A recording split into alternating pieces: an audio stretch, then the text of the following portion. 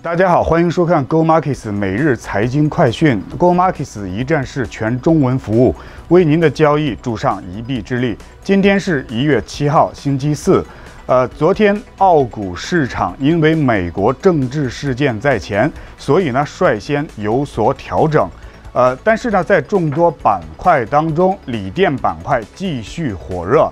如果对于接下来大宗商品繁荣周期的逻辑是正确的话，那澳股当中依旧大有可为。在接下来的三到六个月的时间，将会是我们参与澳股投资者们的最佳布局时段。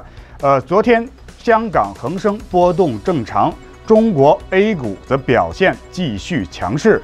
在众多板块当中，A 股之中的造纸板块昨天状态火热。呃，昨天美国市场当中最大政治事件吸引全球目光，因为因为牵扯到新旧政府的交替，所以游戏规则的改变势必将会触发资本市场市市资本市场之上价格的变动，科技巨头们的股价开始有所调整，但成分股更为复杂的道琼斯指数则表现强势。在众多的上涨身影当中，美国的金融板块表现优秀。昨天，在美国的华盛顿特区国会山的外部，川普支持者群情汹涌，而美国成为第四个被国民攻入国会的国家。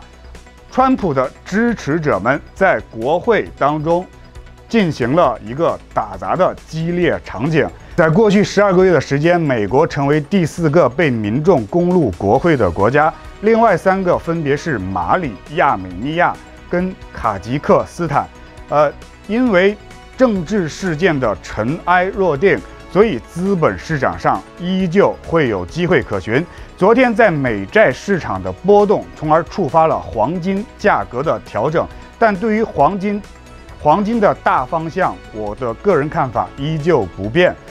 大家可以通过电话跟网站的方式跟我们取得联系。Go Markets 一直都是您投资交易的首要选择。我是 Go Markets 的 Allen，我们下期节目见。